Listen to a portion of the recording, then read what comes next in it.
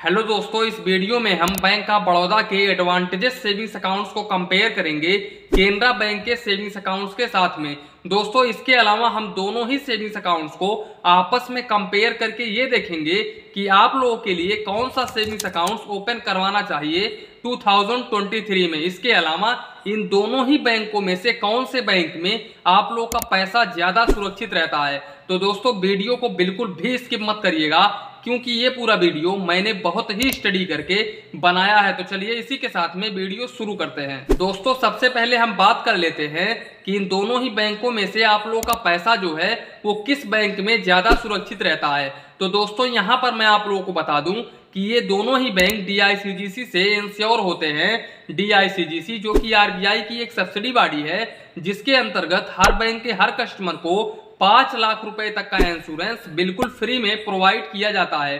दोस्तों, ये दोनों ही बैंक कभी भी अपने लाइफ में डूब जाते हैं। तो ऐसे केसेस में आप लोगों का पाँच लाख रुपए तक का अमाउंट मिल जाएगा। अब दोस्तों, चलते हैं इन दोनों ही बैंकों के रेट ऑफ़ इंटरेस्ट के ऊपर।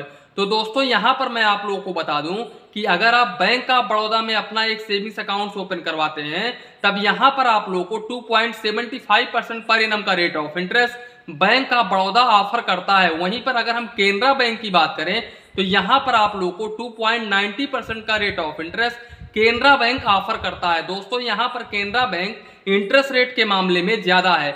इसके अलावा दोस्तों, अगर आप वन ईयर का एफ़ ओपन करवाते हैं, तब ऐसे केसेस में दोस्तों, bank of Baroda 6.75 percent per annum का रेट ऑफ़ इंटरेस्ट ऑफ़र करता है और अगर आप सीनियर सिटीजन के कैटेगरी में आते हैं, तब यहाँ पर आप लोगों को 7.25 परसेंट पर एनम का रेट ऑफ़ इंटरेस्ट ऑफ़र किया जाता है। वहीं पर अगर हम केनरा बैंक की बात करें तो यहाँ पर भी आप लोगों को 6.75 परसेंट पर एनम का रेट ऑफ़ इंटरेस्ट प्रोवाइड किया जाता है। और अगर आप सीनियर सिटीजन के कैटेगरी में आते हैं, तब यहाँ पर आप लोगों को 7.25 परसेंट पर एनम का रेट ऑफ़ इंटरेस्ट प्रोवाइड किया जाता है। यहाँ पर दोस्तों एफडी में ये दोनों ही बैंक सेम है। इसके अलावा दोस्तों, अगर हम एवरेज मंथली बैलेंस की बात करें तो यहाँ पर अगर आप इन दोनों ही बैंकों में अपना एक सेविंग्स अकाउंट ओपन करवाते हैं तो यहाँ पर आप लोगों को रूरल में पाँच सौ रुपए मेंटेन करना होता है सेमी अर्बन में थाउज़ेंड रुपीज़ मेंटेन करना होता है। वहीं पर अगर हम मेट्रो सिटीज़ और अर्बन की बात करें तो यहाँ पर आप लोगों को टू थाउज़ेंड रुपीज़ मेंटेन करना होता है।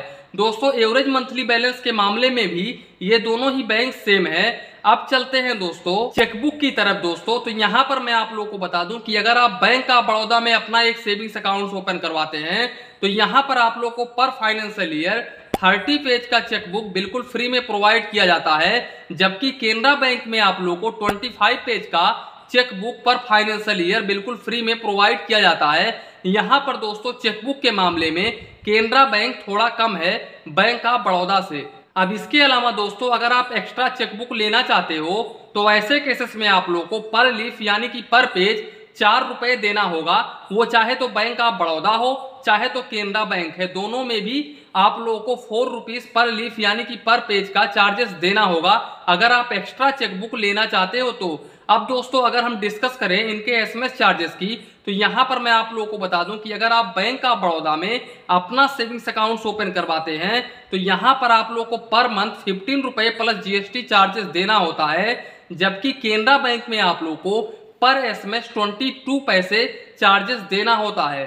और ये करीब करीब चार्जेस फिफ्टीन रुपए के आसपास में जाता है। तो यहाँ पर ये दोनों ही बैंक सेम है एसएमएस चार्जेस के मामले में। अब इसके अलावा दोस्तों, अगर हम एटीएम कार्ड चार्जेस की बात करें तो यहाँ पर मैं आप लोगों को बता दूँ कि बैंक ऑफ़ बड़ौदा में आप लोगों को रुपए क्लासिक डेबिट कार्ड प्रोवाइड किया जाता है और वहीं पर केनरा बैंक में भी आप लोगों को क्लासिक डेबिट कार्ड प्रोवाइड किया जाता है। और अगर हम इन दोनों ही एटीएम्स के इशुएंस चार्जेस को डिस्कस करें तो यहाँ पर ये दोनों ही बैंकों में आप लोगों को इशुएंस चार्जेस एक भी रुपीज़ नहीं देना होता है। जबकि अगर हम एनुअल मेंटेनेंस चार्जेस को डिस्कस करें तो यहाँ पर आप लोग को two hundred rupees plus GST charges देना होता है।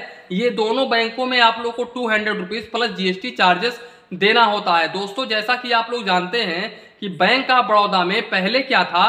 पहले आप लोग को सौ रुपए प्लस जीएसटी चार्जेस देना होता था। लेकिन मैंने पिछली वीडियो में आप लोग को मैंने बताया कि बैंक ऑफ़ बड़ौदा ने अपना एटीएम कार्ड पर चार्जेस बढ़ा दिया है। तो यहाँ पर अब आप लोगों को दो सौ रुपए प्लस जीएसटी चार्जेस देना होगा। और केनरा बैंक पर भी आप लोग को दो सौ रुपए प्लस जीएसटी चार्जेस देना होगा। इसके अलावा दोस्तों, अगर हम एटीएम कार्ड लिमिट को डिस्कस करें तो यहाँ पर दोस्तों, अगर आप बैंक ऑफ़ बड़ौदा का एटीएम कार्ड लेते हैं तो यहाँ पर आप पच्चीस हज़ार रुपए पर डे निकाल सकते हैं और पचास हज़ार रुपए तक आप ऑनलाइन ट्रांजेक्शन यानी कि पीओएस ट्रांजेक्शन कर सकते हैं। जबकि अगर हम केनरा बैंक की बात करें तो यहाँ पर आप seventy five thousand rupees per day निकाल सकते हैं और टू लैख रुपीज़ तक आप ऑनलाइन ट्रांजेक्शन यानी कि पीओएस ट्रांजेक्शन कर सकते हैं। तो यहाँ पर दोस्तों केनरा बैंक काफ़ी ज़्यादा आप लोगों को लिमिट प्रोवाइड कर रहा है।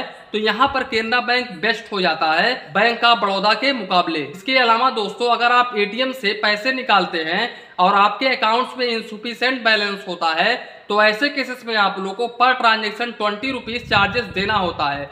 इसके अलावा दोस्तों अगर हम काउंट ऑफ़ ट्रांजेक्शन की बात करें तो यहाँ पर मैं आप लोगों को बता दूँ कि ये दोनों ही बैंकों में आप पाँच बार पैसे निकाल सकते हैं इनके ओन एटीएम से और तीन बार पैसे निकाल सकते हैं आप मेट्रो सिटी से, दोस्तों। और अगर आप इस लाइन को क्रॉस करते हैं, यानी कि जो मैंने लिमिट बताया, इसको अगर आप क्रॉस करते हैं तो अगर आपके पास में बैंक ऑफ़ बड़ौदा का एटीएम कार्ड होता है तो ऐसे केसेस में आप लोग को फाइनेंशियल में ट्वेंटी रुपीज़ चार्जेस देना होगा और नॉन फाइनेंशियल में टेन रुपीज़ चार्जेस देना होगा। जबकि अगर हम केनरा बैंक की बात करें तो यहाँ पर आप लोगों को फाइनेंशियल में twenty one rupees plus GST charges देना होगा और टेन रुपीज़ आप लोगों को नॉन फाइनेंशियल में चार्जेस देना होगा। तो दोस्तों, आप लोगों के मन में ये दोनों ही बैंकों के सेविंग्स अकाउंट्स को लेकर के जो भी डाउट्स और कंफ्यूजन था, वो मैं आशा करता हूँ कि इस वीडियो में क्लियर हो गया होगा। आप जिसमें चाहें उसमें आप अकाउंट्स अपना ओपन करवा सकते हैं। तो दोस्तों, इसी के साथ में वीडियो समाप्त करते हैं। वीडियो पसंद आया हो तो प्लीज़ वीडियो को एक लाइक करिए और अपने चैनल फाइनेंस बैंकिंग को सब्सक्राइब करिए। मन में कुछ डाउट हो कंफ्यूजन हो तो प्लीज़ कमेंट करिए।